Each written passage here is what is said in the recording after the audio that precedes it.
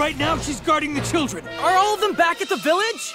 Yeah, I would be there too if not for this. Got it! I'll go and help her out while you get the rest of these people here to safety. All right. It's moments like this that make me realize how powerless I am without the wind tunnel. Kohaku, you watch over Hisui. Wait, you want me to what? Time to go, Kilala.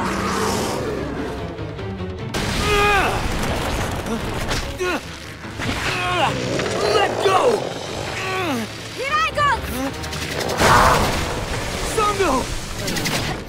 Hey, looks like you're having some trouble there.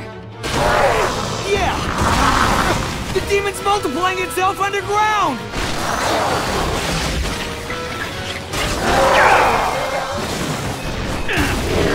Damn it! There's no end! Hey,